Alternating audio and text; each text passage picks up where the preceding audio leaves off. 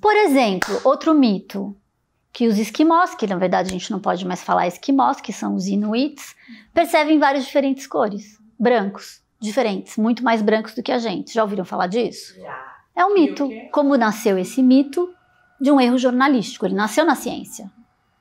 Mas ele nasceu de um erro jornalístico que se propagou como um telefone sem fio. E até hoje muita gente acredita que eles realmente são capazes de ver mais brancos do que a gente, discriminar mais diferentes brancos. Esse nasce na mídia.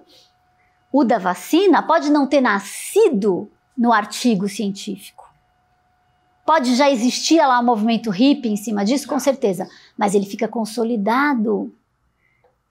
E aí ele fica mais difícil ainda de você destruir esse mito. Ficou claro esse mito do do adaptável. Então, muitas vezes esses mitos vêm nas interpretações, como na questão da percepção dos brancos.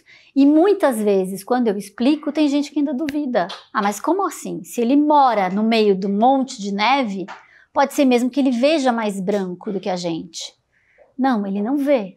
Na verdade, ele nem tem muito mais termo que a gente, mas ele tem quatro termos. Como começou esse erro? Um linguista muito famoso fez uma pesquisa de todos os termos para neve em todos os dialetos dos inuís. E, e verificou que não passavam de quatro para cada dialeto. O que, que o New York Times fez? Acho que foi em 1982 ou 72.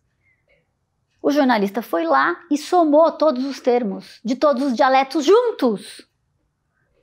Aí virou, sei lá, 72, e depois no outro jornal virou 100, aí depois virou Mas qual é 130. a textura? Eu já ouvi falar de textura, que tem 100 tipos de... Não tem nada, nem textura, nem cor, nem É, nada. gente É tudo mito. é Tudo neve, branquinha, aquela coisinha É neve.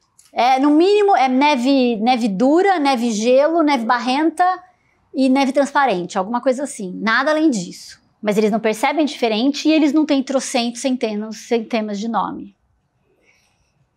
E assim nascem os mitos.